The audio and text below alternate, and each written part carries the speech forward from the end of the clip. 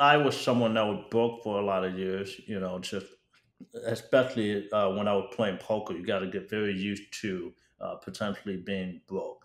And more importantly, you have to mentally be able to pivot within a second, right? Uh, you can have, when you play poker, you know, your lifeline is your bankroll.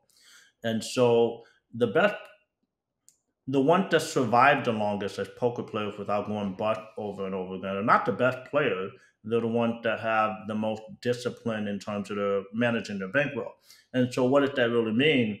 It means that when the inevitable, very large luck factor comes into play when you're playing, um, you know, I would sit down at a twenty thousand dollar bankroll ongoing, and whenever it was above that, that was money for me. Um, I would sit down at a table with a thousand dollars. If I lost that thousand, I should be done for the day I won a thousand, I should be done for the day.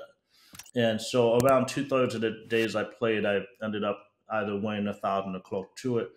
Uh, so long story short, there's going to be hands that are the most ridiculous thing that you feel like have ever happened in that moment. It's just one card possibility for the person for two or three grand, right?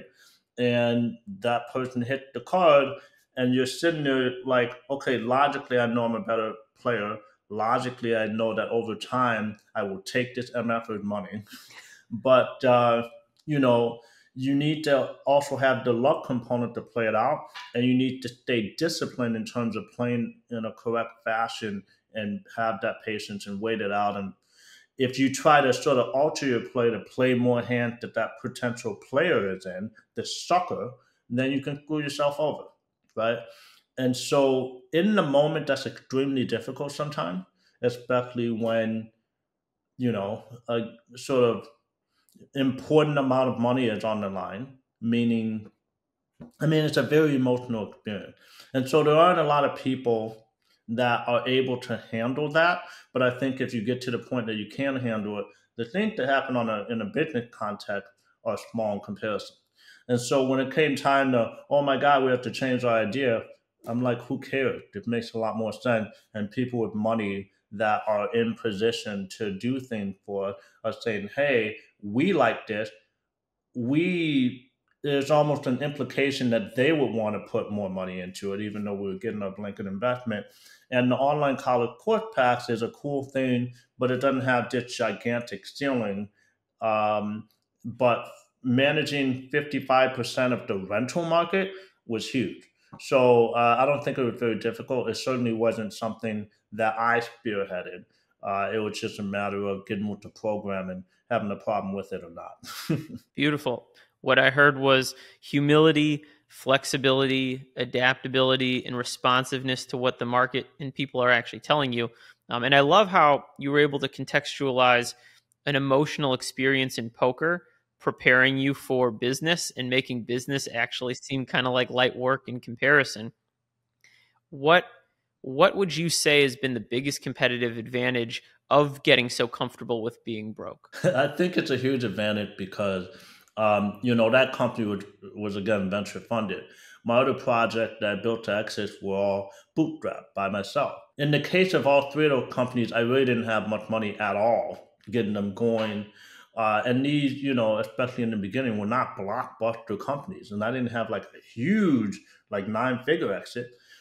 Point being, you figure out how to be lean. Uh, I think a lot of people, um, you know, we're both on Twitter. We essentially met on there. Um, a lot of people are just trying to figure out way to invest or borrow or, you know, figure out a way to throw money at the problem uh, they want to jump in. They want to jump in, you know, hitting the ground running. And if there's an issue, they try to pay their way out of it. Whereas when you're lean, uh, you're forced to be more resourceful. You're forced to, again, you know, not just pivot sometimes in terms of the idea, but also pivot the way in which you're going to get something implemented or fulfill services for a client. Uh, you have to be creative and uh, the initial sort of forceful environment can develop that muscle, as you were saying earlier, of eventually wanting to be creative, wanting to figure out a way to spend less money, and wanting to essentially pre- preserve margin while um, you know continuing to serve your clients. There's something really important in that you've done both. You've been uh, venture backed and you've bootstrapped, so you can understand the value of uh, a business that's fundamentally sound versus a business that just looks really attractive in VC land.